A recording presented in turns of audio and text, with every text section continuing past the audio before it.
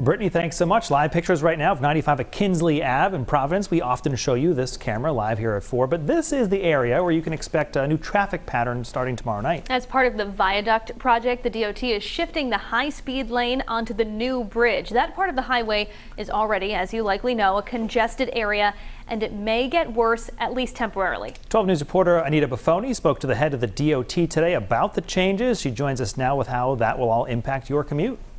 Well, Brian and Kim, if you're driving along 95 North and you're in the high speed lane, you will not be able to access the state offices exit or the 146 exit starting tomorrow night. That's because the DOT is shifting that high speed lane onto the new bridge in the overnight hours.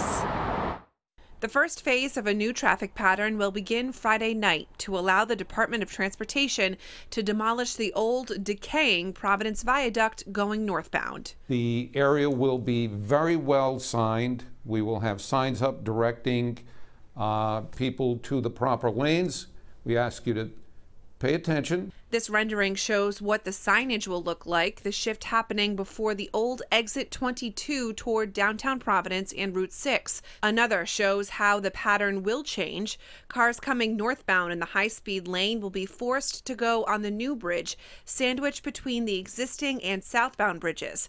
The shift happening in the overnight hours Friday and will be in place Saturday morning. The next two weeks, all of the traffic will be on the new bridge, making way for us to make improvements to the in interchange and change the uh, ramp configuration. That configuration includes the headache Rhode Islanders know all too well at the state office's exit alongside the mall. If you got in the high speed lane and need to access the 146 or state office's exit, here's what you need to know. If you're in the high speed lane by accident, you'll need to take the Branch Avenue exit and kind of loop back through the city streets to the state offices.